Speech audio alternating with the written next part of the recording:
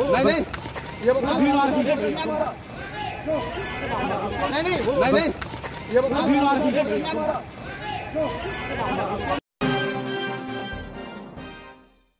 उत्तर प्रदेश की राजधानी लखनऊ में एक कार्यक्रम के दौरान समाजवादी पार्टी के दिग्गज नेता स्वामी प्रसाद मौर्य पर एक युवक ने जूता फेंका। वहीं सपा कार्यकर्ताओं ने आरोपी को पकड़ लिया और जमकर पिटाई कर दी।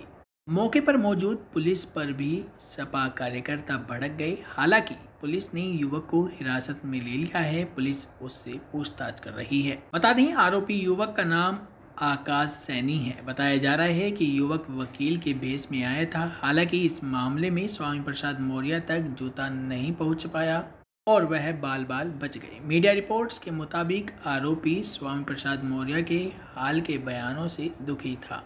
इसी का विरोध जताने के लिए उसने ऐसा किया। अरे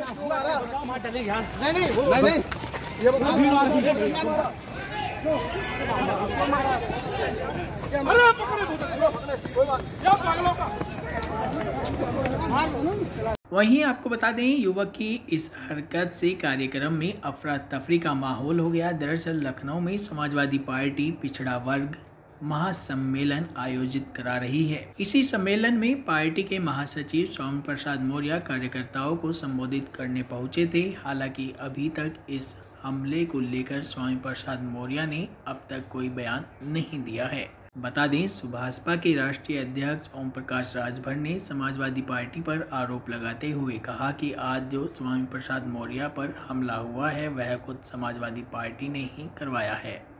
यह दलितों पिछड़ों के साथ अन्याय है। हाल ही में स्वामी प्रसाद मौर्य ने रामचरितमानस की चौपाइयों को लेकर आपत्तिजनक बयान दिया था। सपा नेता ने कहा था कि रामचरितमानस में जो आपत्तिजनक चौपाइयाँ हैं, उन्हें हटा देना चाहिए, क्योंकि जाति सूचक शब्दों का इस्तेमाल हुआ है। ऐसे ही तमाम जानकारी के लिए बने रहिए इन खबर के साथ।